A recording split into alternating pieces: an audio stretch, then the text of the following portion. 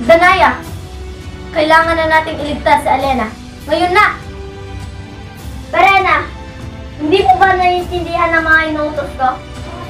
Kailangan natin ng matinding plano upang kung sakaling tayo ay mabigo, maliligtas pa rin natin si Alena. Ngunit, Perena, sundin mo ang utos ko at ihanda mo na rin ang mga konseho para sa ating pagpupulong. Pashnea!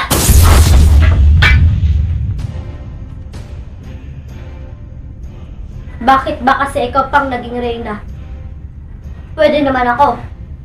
Wala ka talagang pinagbago, Perena. Tuso ka pa rin, tulad ng dati.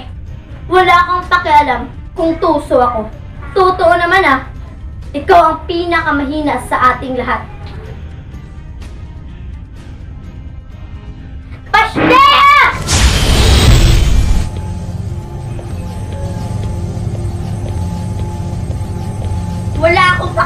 Pakialam kung ako ang pinakamahina. Mahina ba ang tinatawag mong reyna ng Lereo?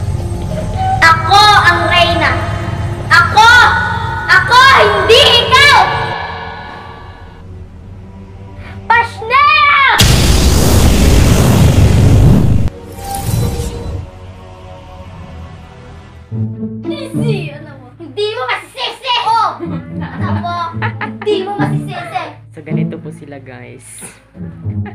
Huwag kang pagbebe. Bebe ko. Otro, otro din na Len. Otro daw.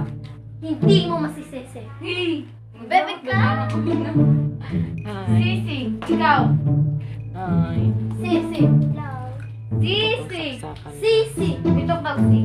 Si. Oh. Yan, duha ah. Baby ko. Dua ang si. Sige daw, sige daw. Sige daw. Baby ko! Barbecue! Tamit, tamit, tamit. Tamit!